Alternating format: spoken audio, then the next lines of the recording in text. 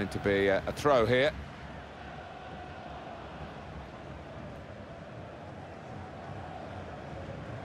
Seven minutes to go.